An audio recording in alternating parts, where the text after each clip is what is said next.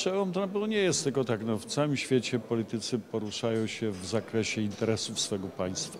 Jak była olimpiada w Pekinie, mimo że cała Europa protestowała z uwagi na łamanie praw człowieka, pierwszy poleciał prezydent Stanów Zjednoczonych, bo wiedział, że Ameryka ma interesy do robienia z Chinami. Natomiast my ciągle machamy szabelką. Teraz zbliża się wizyta prezydenta Rosji.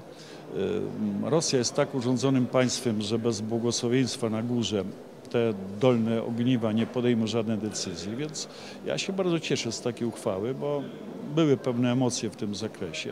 To nie jest jakiś przełom, ale to jest krok w właściwym kierunku. To przygotowuje dobry klimat do wizyty prezydenta Miedwiediewa i jeżeli ten klimat się utrzyma, jeżeli pójdzie sygnał do tych różnych ogniw drugiej, trzeciej instancji podejmujących decyzje, to ja myślę, że wiele spraw będzie dobrych na styku z Kaliningradem.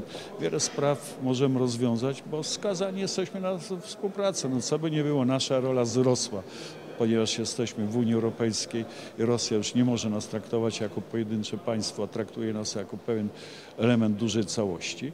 No i Rosja też jest potężnym graczem na globalnym rynku surowcowym głównie, więc im szybciej się dogadamy, tym lepiej, a ponieważ były pewne emocje i one pewne zostaną jeszcze, ale niech się trochę złagodzą, chociaż to będzie nam łatwiej interesy narodowe artykułować.